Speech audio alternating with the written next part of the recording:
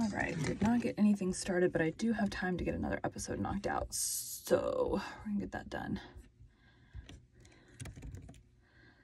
Uh, how do they have these? It's volume one, V1, chapter one.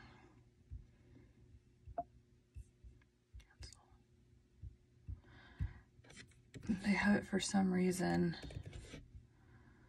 um, in volumes. My guess would be that oh, um, it was originally released in three volumes, which happens. How do I say? Continuing.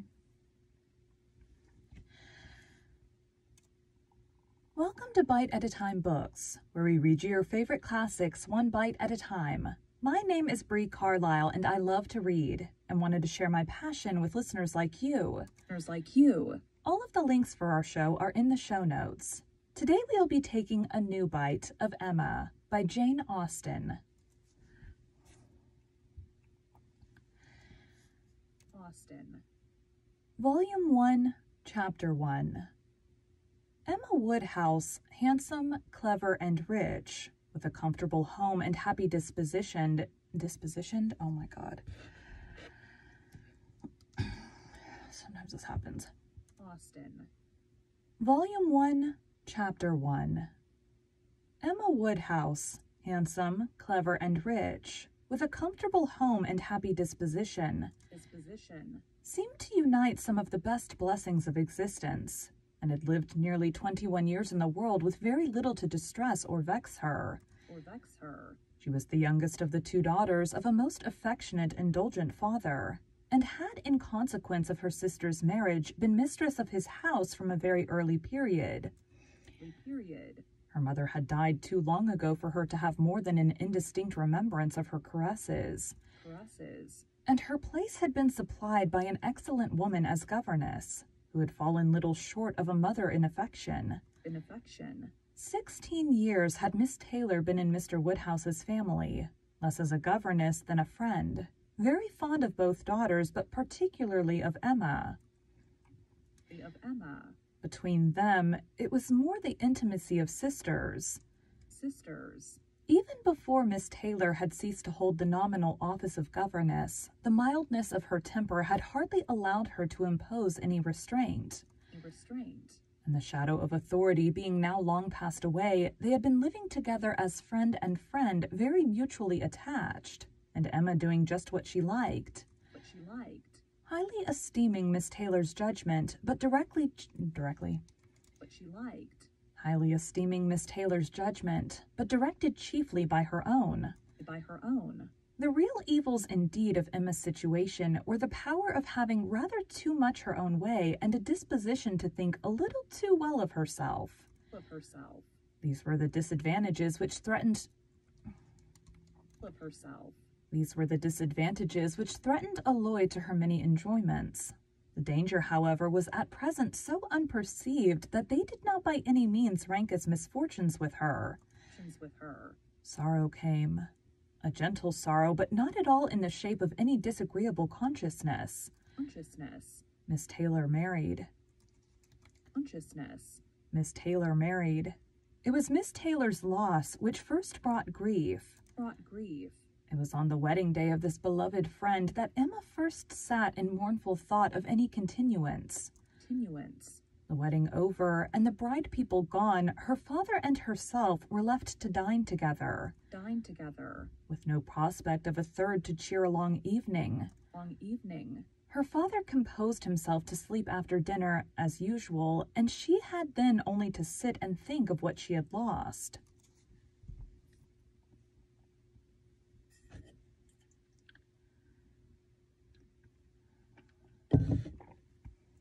Lost. The event had every promise of happiness for her friend. For her friend. Mr. Weston was a man of unexceptional character, easy fortune, suitable age, and pleasant manners. Manners. And there was some satisfaction in considering with what self-denying, generous friendship she had always wished and promoted the match.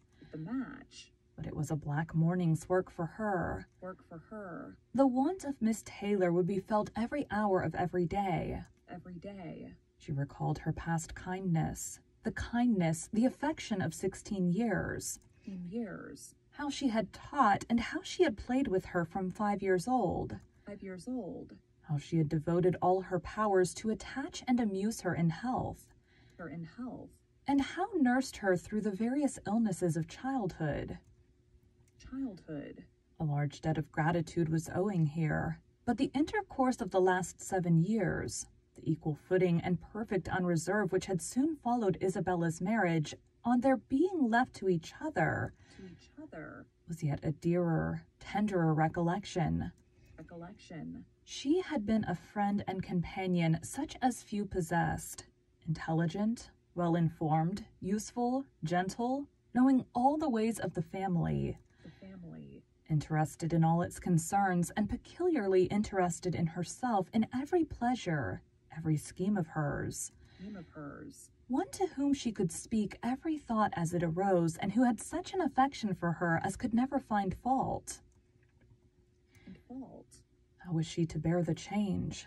It was true that her friend was only. Uh, and fault. How was she to bear the change?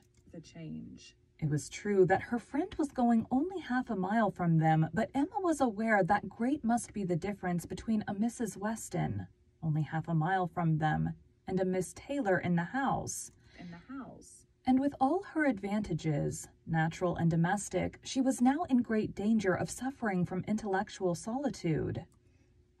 Solitude. She dearly loved her father, but he was no companion for her. He could not meet her in conversation, rational or playful. Playful. The evil of actual disparity in their ages, and Mr. Woodhouse had not married early, was much increased by his constitution and habits. And habits. For having been a valedid, val, valetudinarian. And habits. For having been a valedid, val, valet. Oops. And habits for having been a valetudinarian all his life, without activity of mind or body, he was a much older man in ways than in years. In years. And though everywhere beloved for their in years. And though everywhere beloved for the friendliness of his heart and his amiable temper, his talents could not have recommended him at any time. Any time. Her sister, though, comparatively but little removed by matrimony, being settled in London only sixteen miles off, miles off, was much beyond her daily reach, and many a long October and November evening must be struggled through at Hartfield. At Hartfield. Before Christmas brought the next visit from Isabella and her husband and their little children to fill the house and give her pleasant society again.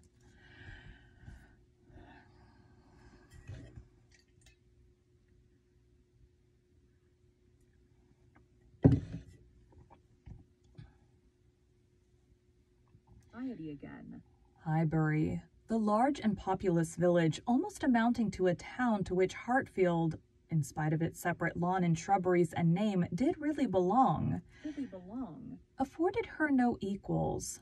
The Woodhouses were first in consequence there. Consequence there. All looked up to them.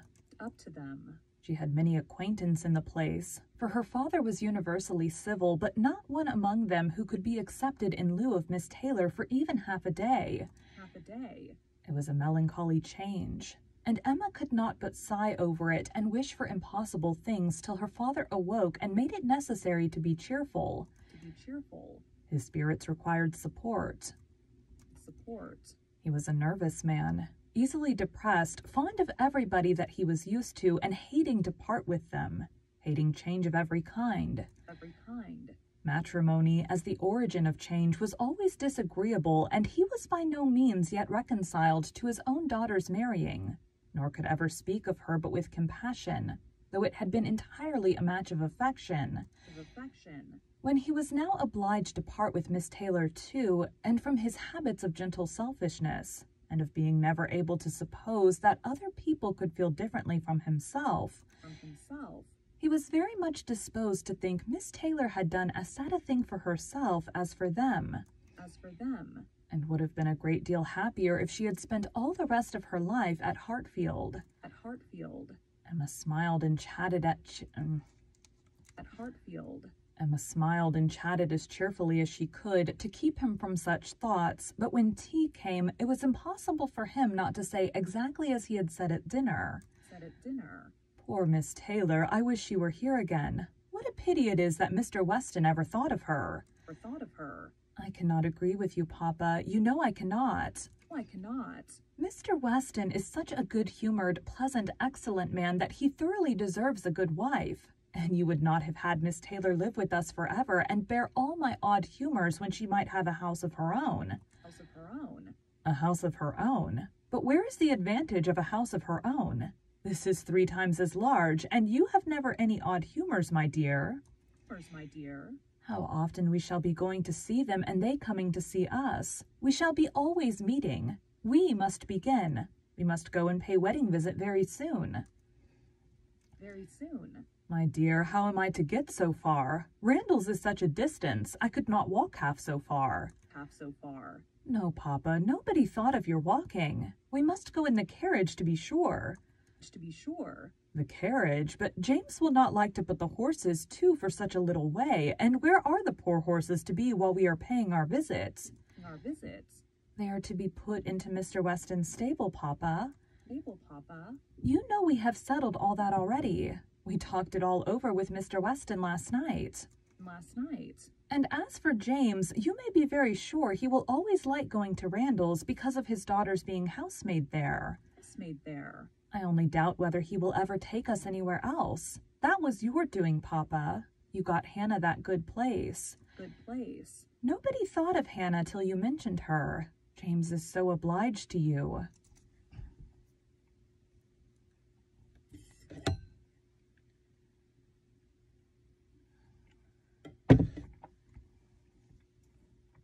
to you.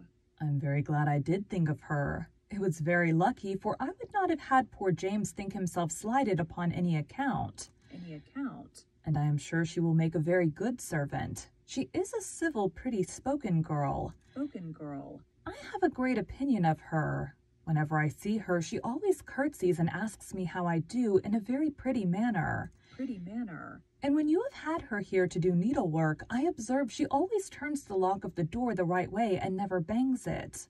Bangs it. I am sure she will be an excellent servant, and it will be a great comfort to poor Miss Taylor to have somebody about her that she is used to see. Used to see.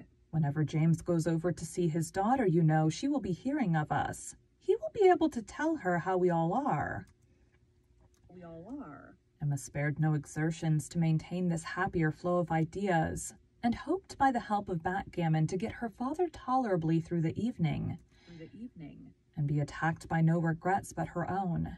The backgammon table was placed, but a visitor immediately afterwards walked in and made it unnecessary. Necessary. Mr. Knightley, a sensible man about seven or eight and thirty, was not only a very old and intimate friend of the family, but particularly connected with it, as the elder brother of Isabella's husband. His husband. He lived about a mile from Highbury, was a frequent visitor, and always welcome, and at this time more welcome than usual as coming directly from their mutual connections in London. In London. He had returned to a late dinner after some days' absence and now walked up to Hartfield to say that all were well in Brunswick Square. Brunswick Square. It was a happy circumstance, and animated Mr. Woodhouse for some time. For some time. Mr. Knightley had a cheerful manner, which always did him good, and his many inquiries after poor Isabella and her children were answer, answered. For some time. Mr. Knightley had a cheerful manner which always did him good, and his many inquiries after poor Isabella and her children were answered most satisfactorily. Satisfactorily. When this was over, Mr. Woodhouse gratefully observed, it is very kind of you, Mr. Knightley, to come out at this late hour to call upon us. I am afraid you must have had a shocking walk. Shocking walk? Not at all, sir. It is a beautiful moonlight night, and so mild that I must draw back from your great fire. Your great fire? But you must have found it very damp and dirty. I wish you may not catch cold. Catch cold? Dirty, sir. Look at my shoes. Not a speck on them. Speck on them? Well, that is quite surprising, for we have had a vast deal of rain here. It rained dreadfully hard for half an hour while we were at breakfast. I wanted them to put off the wedding. Put off the wedding. By the by, I have not wished you joy. Being pretty well aware of what sort of joy you must both be feeling, I have been in no hurry with my congratulations. Congratulations. But I hope it all went off tolerably well. How did you all behave? Who cried most? Cried most. Ah, poor Miss Taylor, 'tis a sad business. Sad business. Or Mr. and Miss Woodhouse, if you please. Sad business. Poor Mr. and Miss... Sad business. Poor Mr. and Miss Woodhouse, if you please, but I cannot possibly say poor Miss Taylor. I have a great regard for you and Emma, but when it comes to the question of dependence or independence... Independence. At any rate, it must be better to have only one to please than two. Than two. Especially when one of those two is such a fanciful, troublesome creature, said Emma playfully. Emma playfully. That is what you have in your head, I know, and what you would certainly say if my father were not by. Were not by. I believe it is very true, my dear, indeed, said Mr. Woodhouse with a sigh. I am afraid I am sometimes very fanciful and troublesome.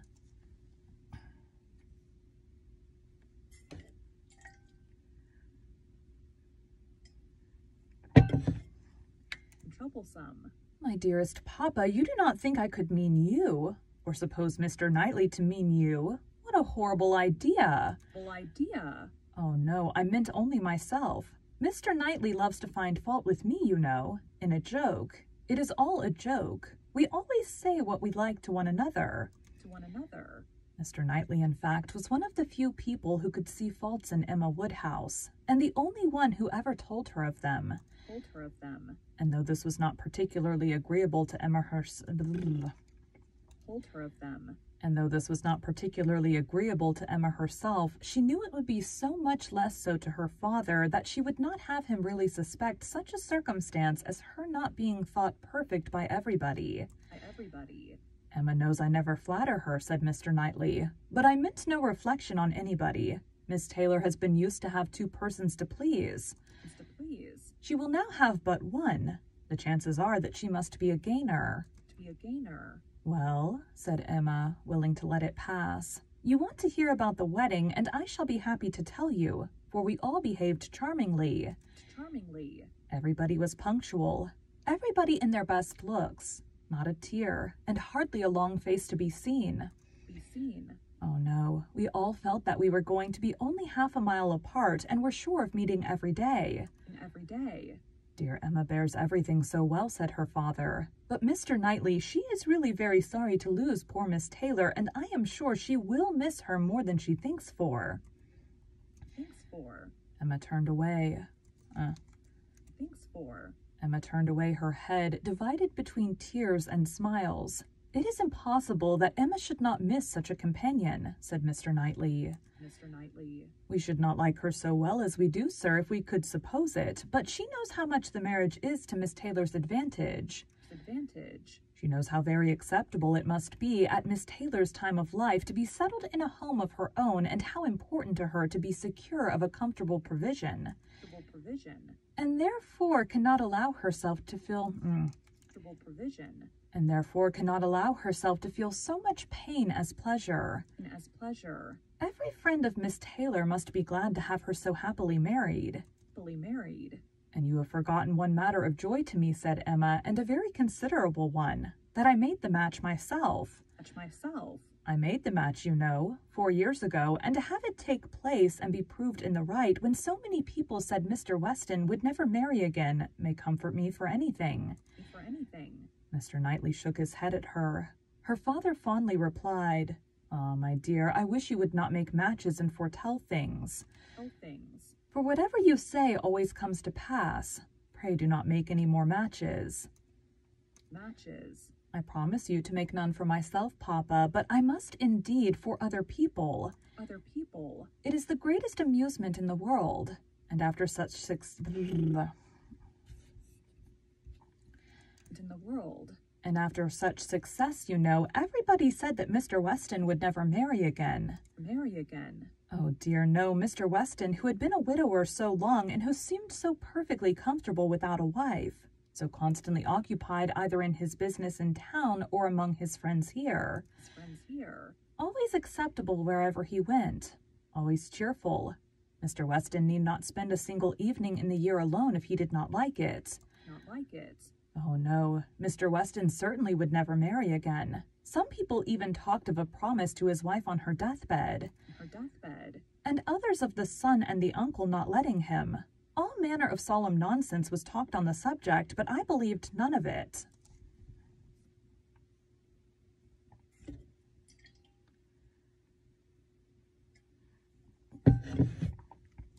None of it. Ever since the day, about four years ago, that Miss Taylor and I met with him in Broadway Lane, when, because it began to drizzle, he darted away with so much gallantry and borrowed two umbrellas for us from Farmer Mitchell's. For Mitchell's. I made up my mind on the subject. I planned the match from that hour, and when such success has blessed me in this instance, dear papa, you cannot think that I shall leave off matchmaking. Matchmaking. I do not understand what you mean by success, said Mr. Knightley. Mr. Knightley. Success supposes endeavor.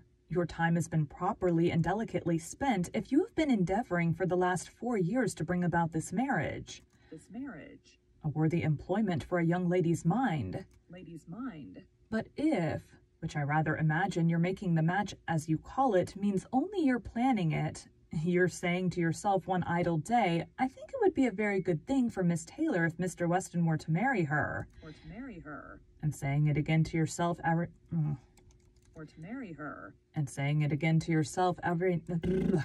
Or to marry her. and saying it again to yourself every now and then afterwards. Why do you talk of success? Where is your merit? What are you proud of? You made a lucky guess, and that is all that can be said. Can be said. And have you never known the pleasure and triumph of a lucky guess? I pity you.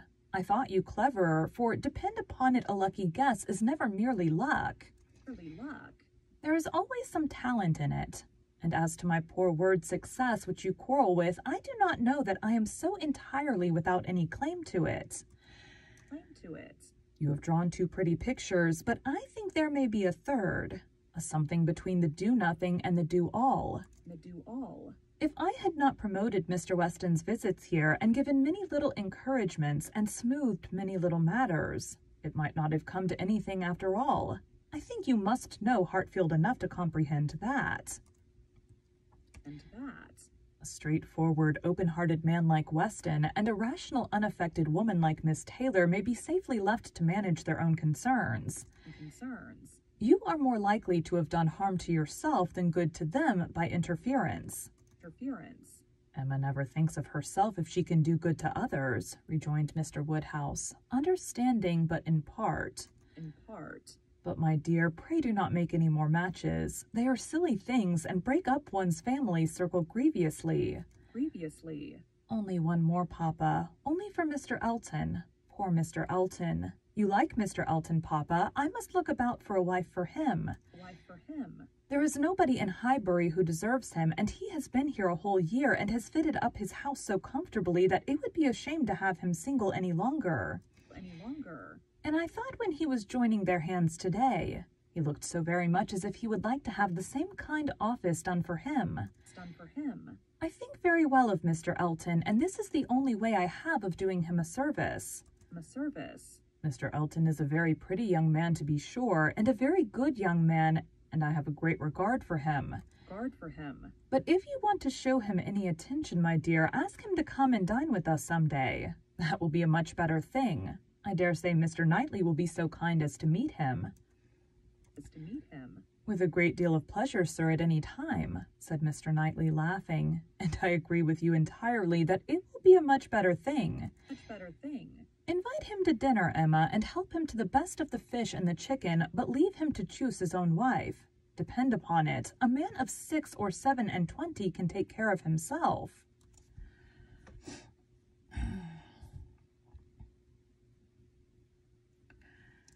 Himself.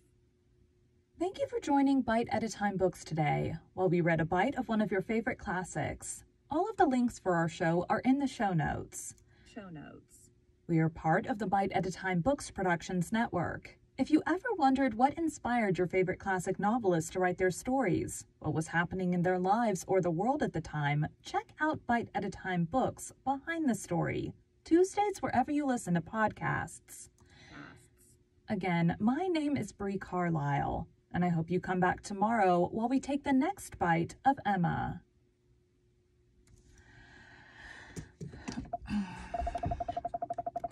Cool, that's annoying. All right, that is it. It is saved. Thanks, guys.